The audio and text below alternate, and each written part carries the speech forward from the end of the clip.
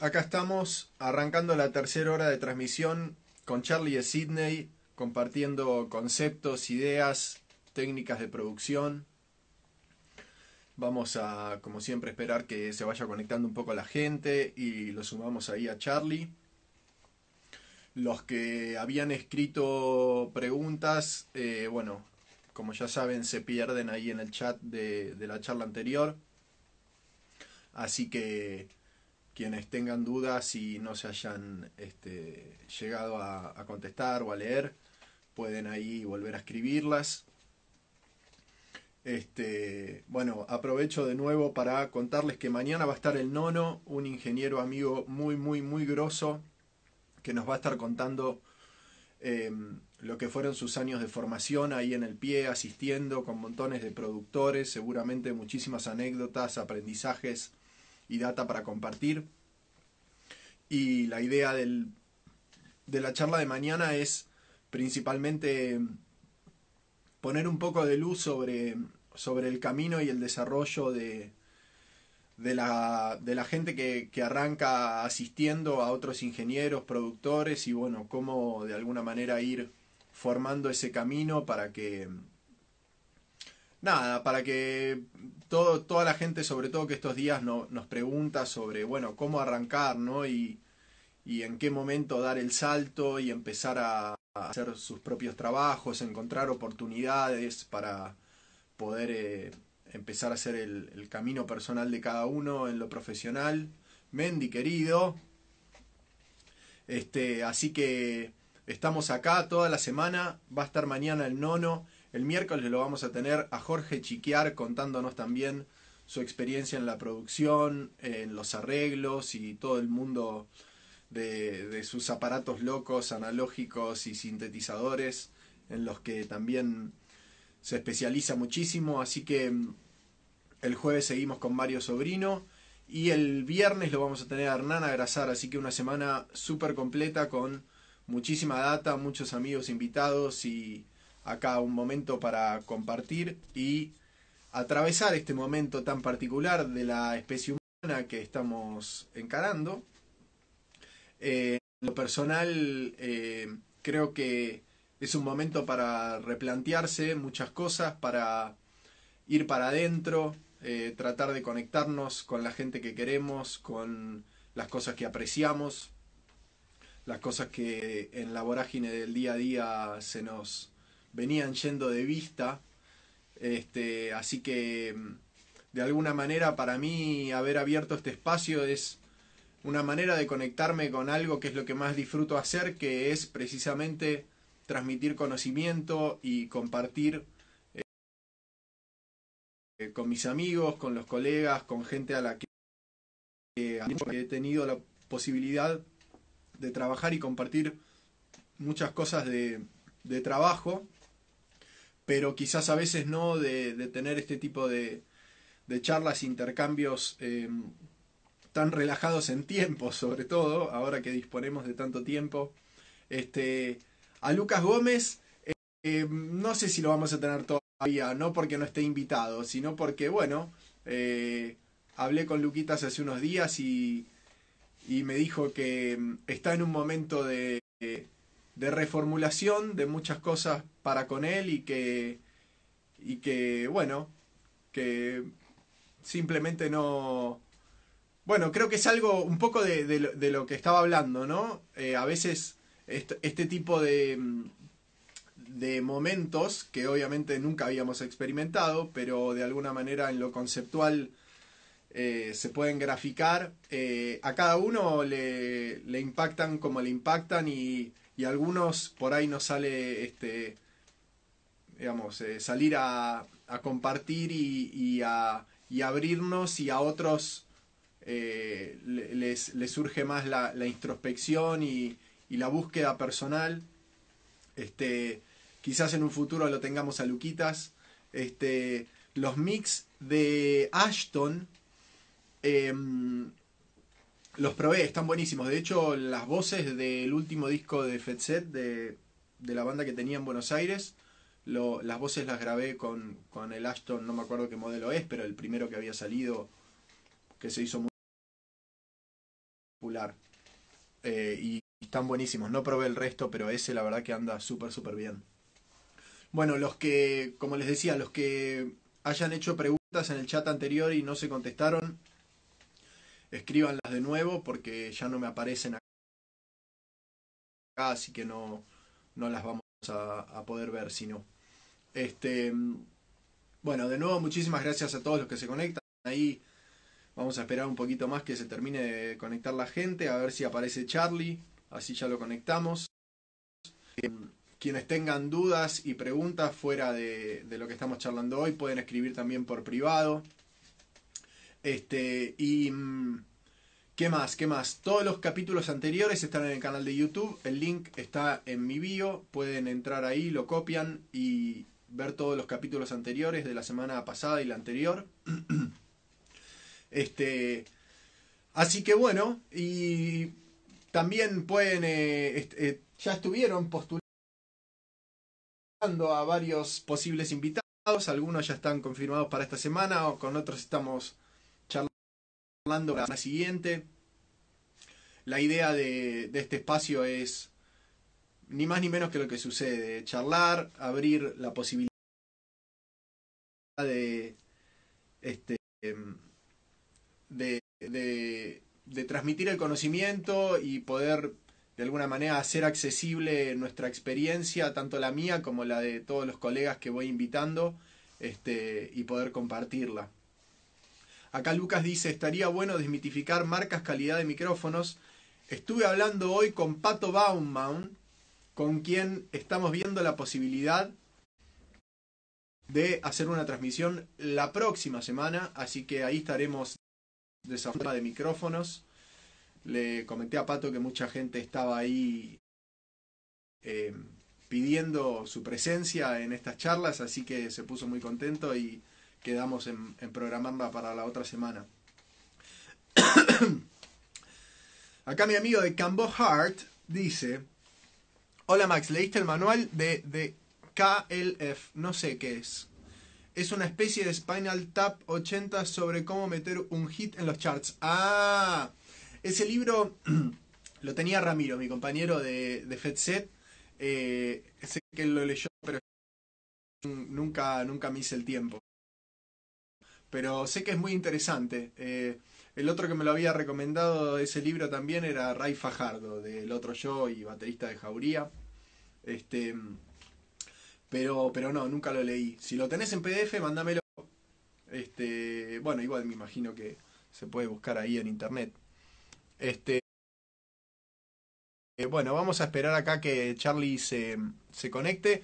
Como les decía, los que hubieran hecho preguntas en, el chat anterior pueden ir escribiéndolas así Ahora en cuanto Charlie se conecte, las vamos contestando. Este.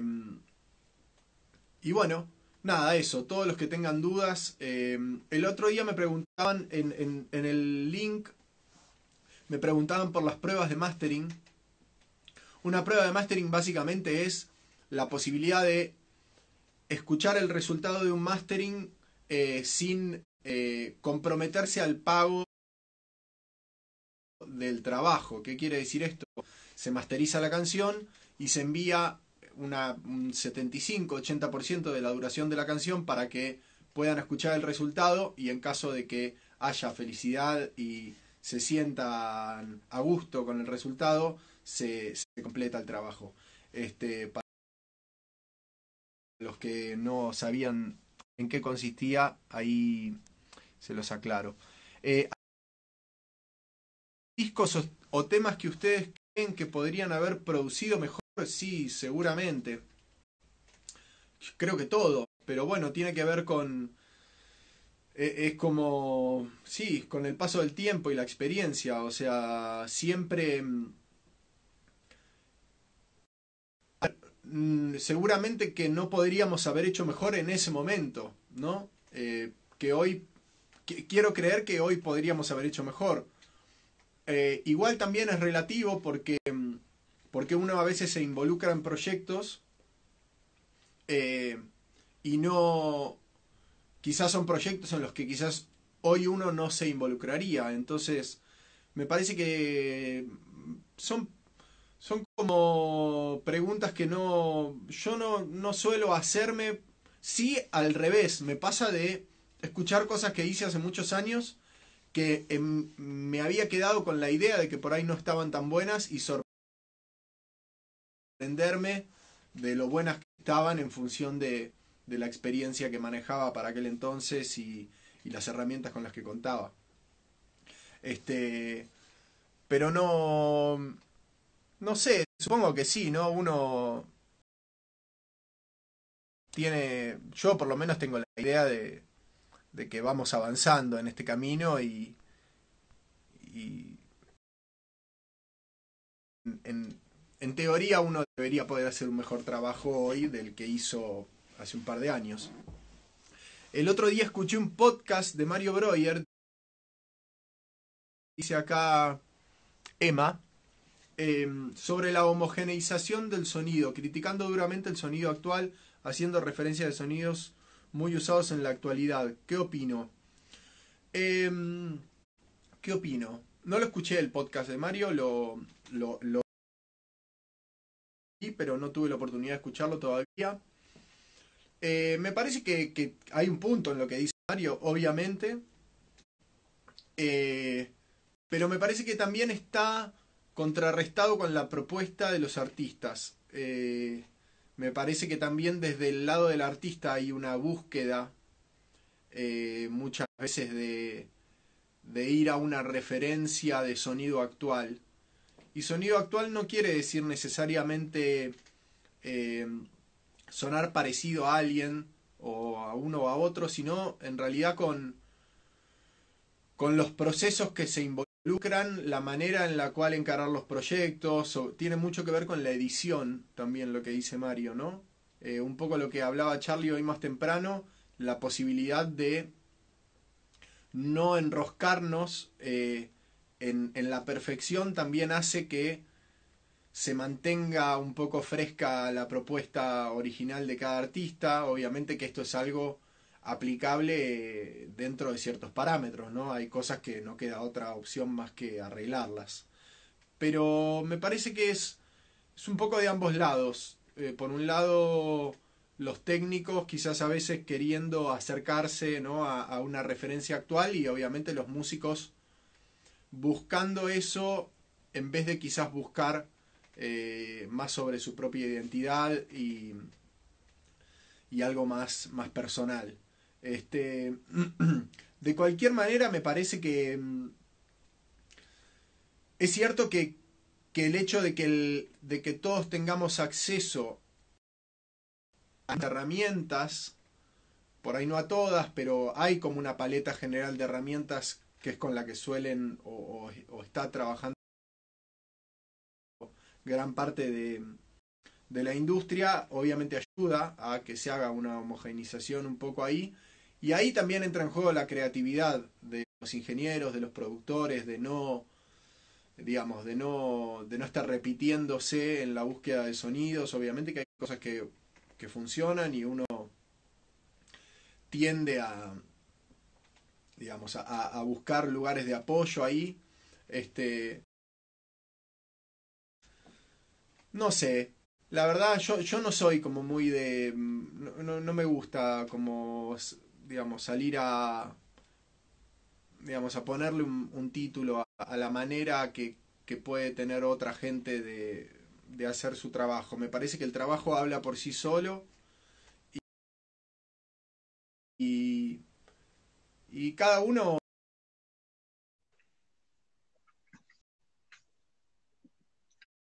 Bueno, como les decía, los que habían hecho preguntas en el chat anterior, eh, conéctense ahí y, y, escríbanlas, así podemos acá contestarlas con Charlie. ¿Cómo andás, Charlie? ¿Cómo te trata la tarde bonaerense? Me trata perfecto, además con vos. Esa es una respuesta muy, muy, muy de, de telepasillo. Sí, bueno, pero es como decir, eh, te vi y ahora estoy mejor. no, es que realmente en, en, algún punto esta charla que nosotros nos, digamos, creo que eh, cada vez que nos vemos nos lleva siempre como una alfombra mágica a un carajo genial. Eh, donde ciertas reflexiones nos ubican en dónde estamos, no para bajar una verdad, pero sí como para decir eh, la posibilidad de reflexionar acerca de que mm, no hay una verdad, sino hay una eh, interpretación de lo que está sucediendo.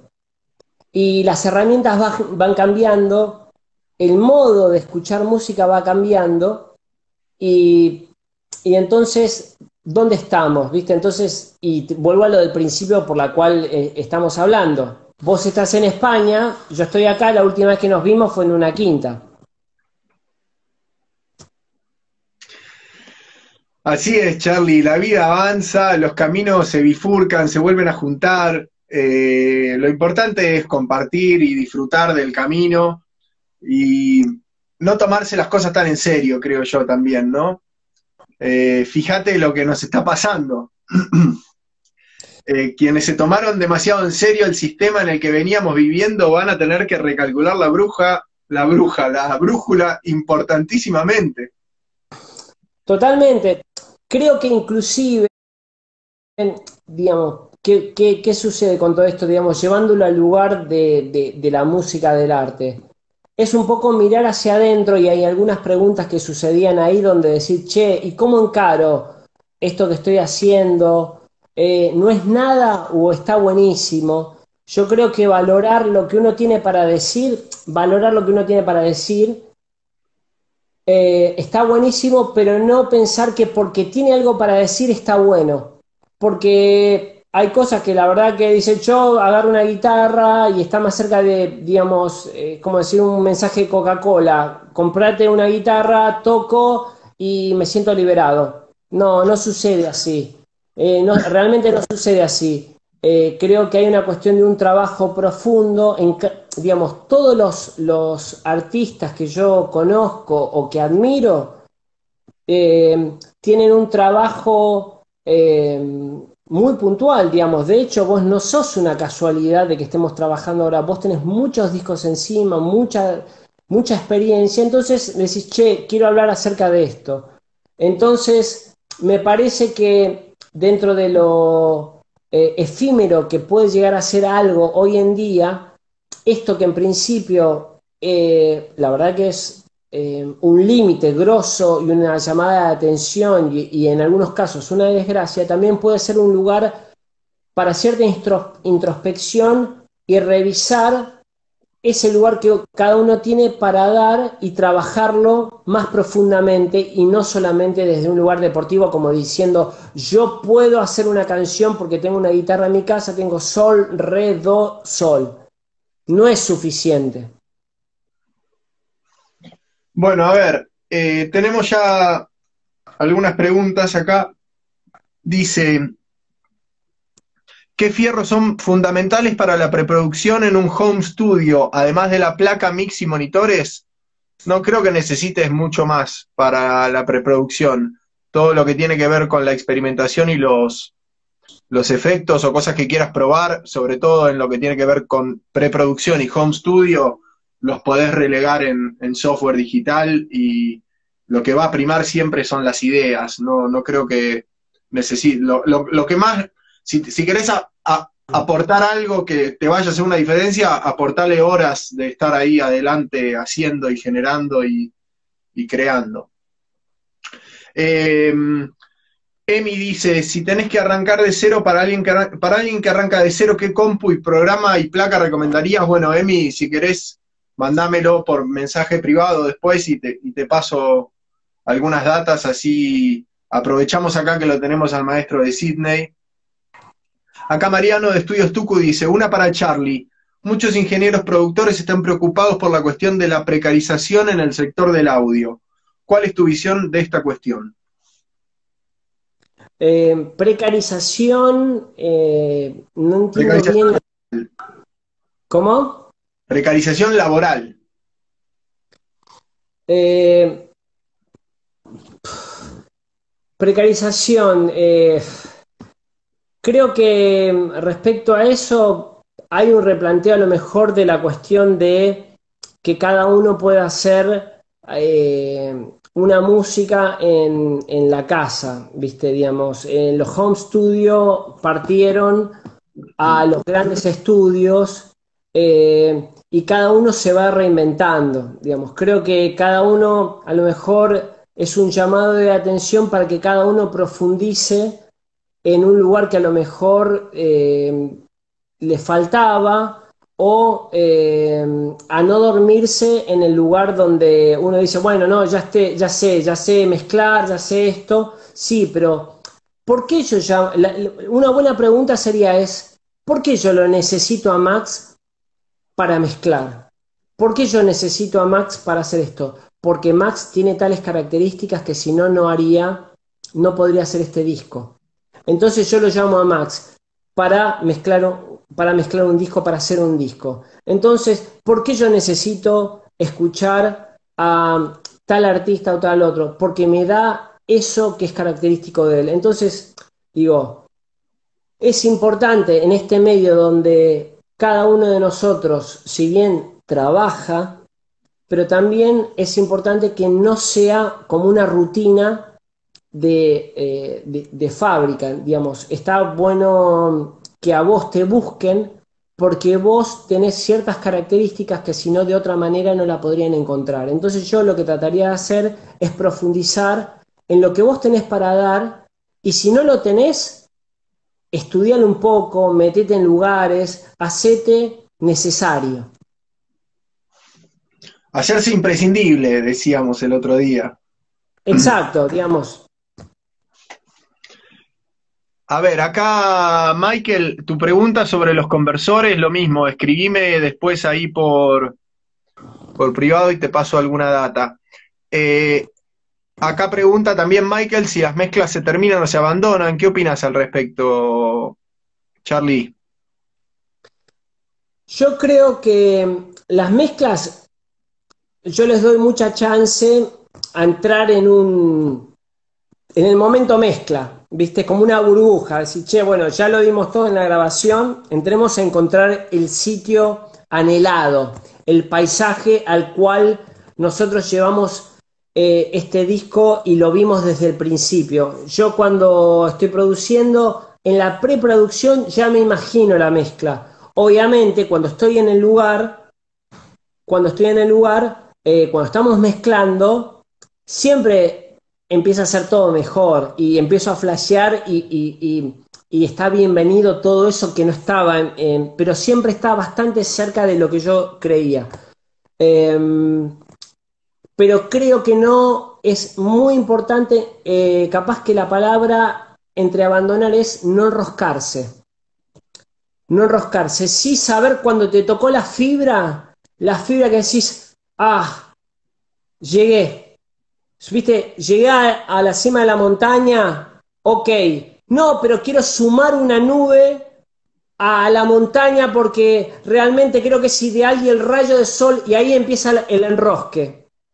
Y, yo creo que habría que tener cuidado en ese momento donde uno sabe que llegó a un momento eh, orgánico de la mezcla y paso a otro. Y de esa manera voy pasando a todos los temas y a lo sumo después hago unos retoques, pero sé que hay una, fibra, un, nervio que se toca que ya está sucediendo y eso es lo que me interesa de las mezclas. Por supuesto, esto lo chequeo con los deseos del ingeniero, porque obviamente hay ciertos detalles que a lo mejor a mí se me pueden escapar, que el ingeniero me dice, che, mira, déjame hacer esto, y bienvenido este, esos detalles porque siempre hacen que todo tenga otro salto cualitativo.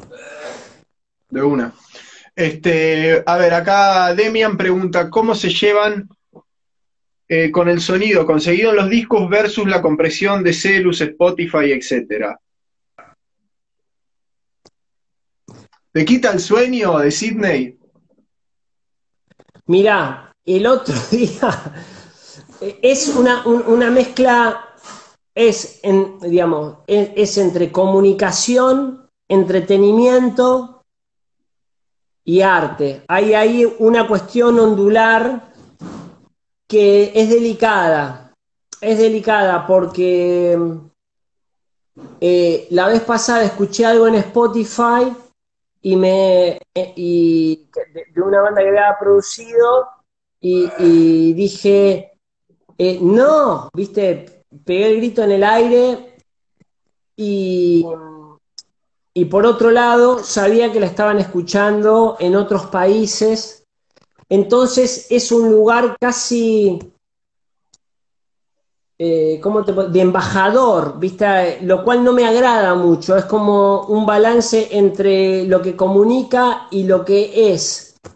Si queda en la casa solamente con un audio recopado y no lo escucha nadie, eh, es una anécdota si se comparte con menor calidad no termina siendo el mensaje que uno quiere dar. Es muy delicado. Estamos como, yo creo que estamos en un momento de transición que no hay que ser muy extremista porque mm, a lo mejor en, ese, en esa cuestión de, vuelvo a lo del principio, esta cuestión de la verdad absoluta, uno se está perdiendo o se está dejando un par de canas de más. ¿Viste? Sí, yo creo que, hay que tener un poco de paciencia y que hay que, de alguna manera, contemplar que en algún momento esto se va a, quiero creer yo, por lo menos, y varios creo que creemos, que en algún momento se va a, subir un poco la vara de cómo se presenta la información y, y bueno, y quizás podamos hay plataformas que, suenan mejor que el Spotify. Los celulares son celulares y tienen sus ventajas y sus desventajas. Em, me parece que, que hay que tener un poco de paciencia y que las tecnologías de alguna manera se están adaptando. Es cierto que, pareciera no ser una prioridad, eh, pero eventualmente yo creo que como todo, digamos, eh, la televisión tampoco se empezó viendo de la manera que se ve hoy por hoy eh, y, quiero creer que en algún momento la tecnología va a avanzar a un nivel al que, que el Spotify suene en alta calidad no va a ser un problema de conexión ni de transmisión de datos para nadie y bueno, y que, y que vamos a, a volver a recuperar un poco de esa calidad. Sí, totalmente hablando, eh, creo que también uno entiende, uno pone un disco de alguien caminando en el medio de la ciudad con unos auriculares y los puede disfrutar y, y es un montón ya, o sea, es un montón. Eh, ser purista de eso me parece como perderse de otra cosa. Eh, Creo que el tema pasa por otro lado, a lo mejor. Tiene que ver más con la cuestión del entretenimiento. Eh, en a ver si uno se conecta con la música o con la música uno se desconecta para no estar.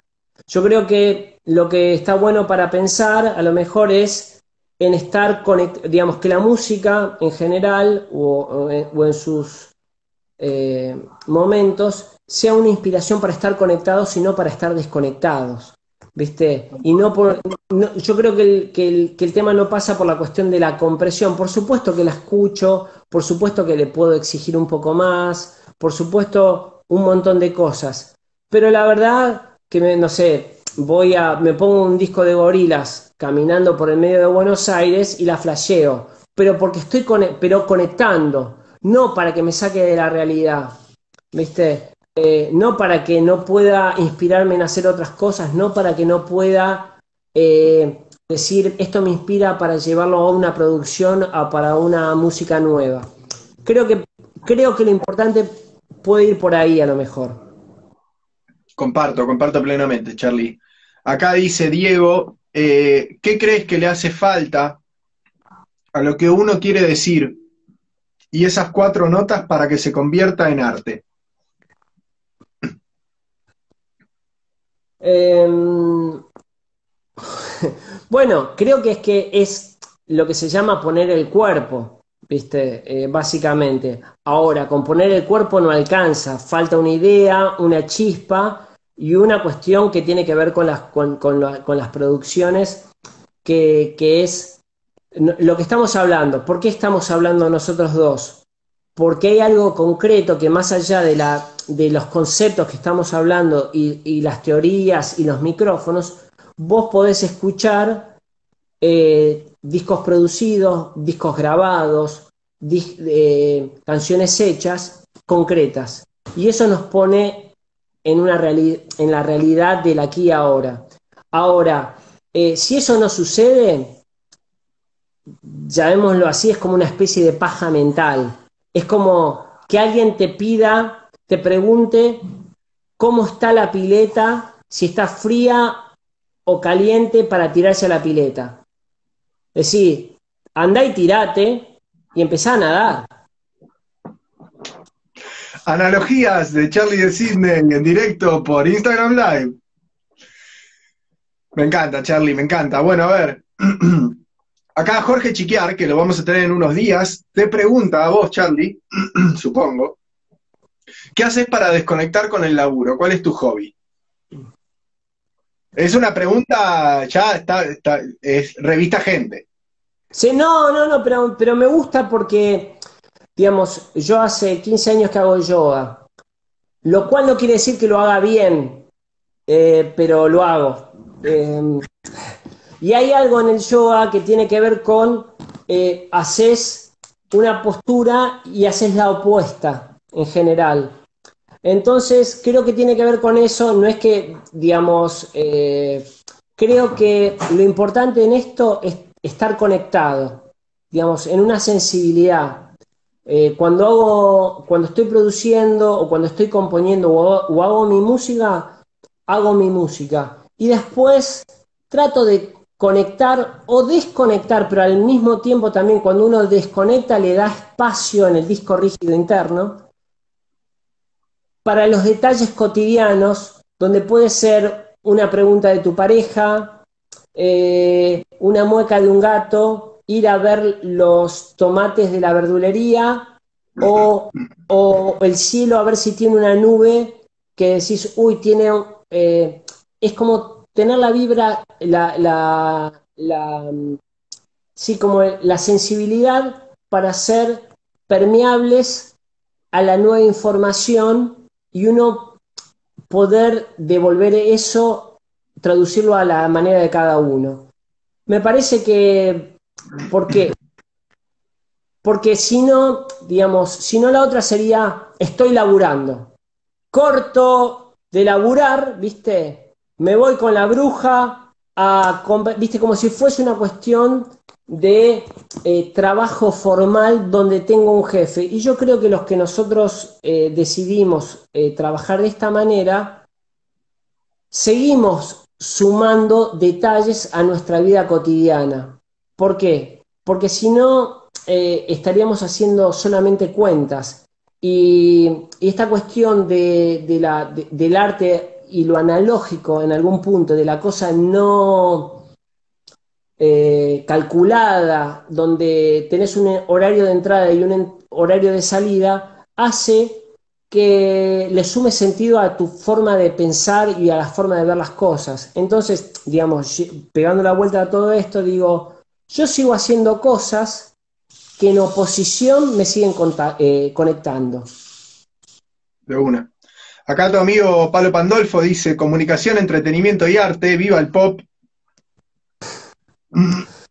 y Palo, eh, ¿qué hace Palo? Eh, es, él, es un, gran, eh, así, digamos, nos tira, nos tira la carnada y nosotros la, prendemos fuego esa carnada y después nos reímos, porque Em, porque e, es un poco lo mismo que, decíamos, hay una mirada frente al entretenimiento pop y arte, donde buscamos un resultado, y eso es lo que también nos ubica en que no sea solamente una charla de Instagram, porque después de esta charla de Instagram, eh, yo quiero que la canción que esté componiendo esté buena, o la producción esté buena. Em, y, quiero que eso nos pegue un salto cualitativo. Y eso está bueno como para bajar a la tierra todo, todo esto que eh, en algún punto em, creo que esperamos a que no sea solamente una idea de conceptos en la red y en nuestras cabezas, ¿viste? Porque decís, che, bueno, ¿y entonces la música qué? Me encantó, me pareció una cagada. Ok, listo, pum. Palo y, palo y a la bolsa. Eh, creo que eso es lo que, lo que define en algún momento y lo que decía en otra pregunta que, que nos hacía, cómo hacernos necesarios. Yo a lo mejor respecto me quedé pensando en eso de necesario e imprescindible. Después de que murió Lennon, eso de necesario, no sé si somos imprescindibles, pero sí ser necesarios. ¿Viste? Ser necesarios y querer participar y charlar y esto, qué sé yo. Ahora, eh, creo que también uno tiene que tener la cintura necesaria como para poder saber en qué momento producir esto, producir lo otro, saber en qué momento ser perceptivo, en qué momento bajar esa data que uno estaba pensando, eh, porque también a veces en esto deportivo de que, mm, insisto con lo deportivo porque es una cosa que estaba pensando hace rato, em, la cuestión de llamar la atención por llamar la atención, de poder hacer las cosas, creo que no es suficiente. ¿Viste? Creo que vuelvo a lo mismo para los que están haciendo sus, producciones o los que están haciendo su... Está bueno masticarlo, trabajarlo, irse lejos, escucharlo en el auto, escucharlo en la casa, eh, irse a la terraza, ponerse auriculares y decir, che, esto convive, no, pum. Entonces yo creo que todas las personas que nosotros admiramos, artistas que admiramos, hacen ese laburo porque están buscando el detalle y en el detalle está la calidad. Si no, todo es más, más o menos lo mismo. Así es. Bueno, Charlie, eh, estamos ya dentro de nuestra tercera hora de transmisión. Eh, yo aprovecho antes de que, de que quizás se nos venga la hora encima o se terminen las preguntas o, o simplemente tengamos ganas de ir a tomar una birrita por ahí, no por ahí, pero por acá, por ahí ir a comprarla. Em, aprovecho para agradecerte, la verdad es que no, no, no solo por lo de hoy, sino porque realmente, como te decía al principio, para mí encontrarte en el camino y sobre todo en el principio del camino fue muy inspirador y he aprendido muchísimo de vos más allá de que son quizás no muchos los laburos que hemos hecho juntos, fueron muy importantes, muy puntuales. Justo ayer estaba revisando una foto, después te voy a mandar, bueno, vos la tenés, la foto esa grabando ahí en el cangrejo el lunes.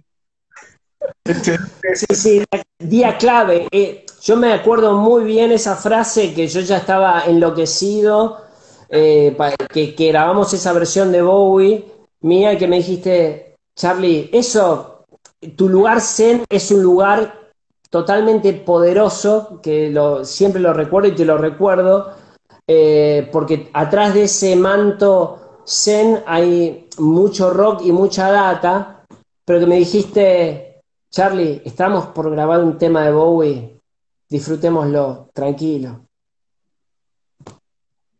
Sí, sí, me acuerdo que estabas muy ansioso y ahí con, con todos los detalles en la cabeza y, estuvo muy bueno, la pasamos muy bien. Estaba Manu, estaba Demian. Sí, sí. estuvo muy bien. Y, creo que lo que decís vos ahora. había grabado la batería ese día? Eh, JJ Ramírez, eh, tal cual, sí, sí, tal cual. Eh, no, no, un, un, Dream Team genial. que para está bueno para el que lo quiera escuchar. inclusive el otro día me lo, eh, me lo encontré a Andrea Prodam y escuchó la versión y flasheó. flasheó. Hay una muy linda devolución de, este, de, ese tema de Bowie que, que grabamos. Pero para cerrar esta etapa, creo que lo indicado sería, más vale irse de la fiesta antes de que termine. Así es, Charlie. Bueno, quiero agradecerte a vos y agradecerle a todos, eh, a todos por sus preguntas, este, a los que tengan dudas concretas y cosas que crean que Charlie les pueda eh, iluminar. Eh, no tienen más que escribirle, a mí saben que me pueden escribir cuando quieran para lo que necesiten. Y mañana lo vamos a tener al nono. El nono es un ingeniero amigo muy, muy grosso que trabajó como asistente en el Pierre Recording Studios desde que arrancó hasta hace algunos años que empezó a trabajar como ingeniero, unos cuantos años ya. Este, y precisamente mañana una cosa eh, que te comparto, Charlie, que me parece que está buenísima, que como que hablaba con el nono el otro día y decía, bueno, pero ¿de qué vamos a hablar? Porque no sé qué, como que al final la charla en ingeniero le digo, no, no, vos te comiste 10 años en un estudio prendido fuego que no paraba de laburar día, noche, cuando no estaba Charlie García despierto hace tres días, venía un productor de Nueva York a hacer el disco del otro y había que hacer el recall de la consola porque después venían a seguir mezclando el disco que estaban mezclando la semana pasada. Y ahí en esa cocina de, la industria eh, que, ya está en extinción, porque obviamente ya esos tiempos, por lo menos en Buenos Aires, quizás en Estados Unidos, en algunas plataformas sigue moviéndose ese, caudal, pero en Buenos Aires es casi algo que, está extinto, ese ritmo de trabajo, y, me parece muy, más allá de que debe haber sido muy intenso, y seguramente mañana el Nono nos contará los detalles, para mí siempre fue como de alguna manera como una fantasía, ¿no? Yo nunca llegué a trabajar así de asistente en un, en un estudio de grabación donde todos los días hay una, sesión distinta, un ingeniero distinto. Siempre me fascinó la idea de, la gente que se forma bajo ese, bajo ese fuego, ¿no? Que se forja profesionalmente en ese fuego, que creo que no es para cualquiera, creo que el nono es una persona que lo supo encauzar, lo supo hacer propio y, nutrirse mucho de eso, así que lo invité para que mañana nos cuente un poco de su experiencia y, bueno, acá lo vamos a tener. Lo, más probable, lo más probable es que él tenga muchas más cosas para decir de lo que él cree. Así es, tal cual, sí, sí, por eso mismo, por eso mismo. Así que lo vamos a indagar mañana al nono para que abra las arcas del Pierre Recording Studios. Buenísimo, eh, recuerden que la charla la subimos a YouTube, si no es esta noche, mañana a la mañana, así que va a estar ahí disponible, el link está en la bio. Muchísimas gracias a todos, muchísimas gracias Charlie, te quiero mucho, te extraño.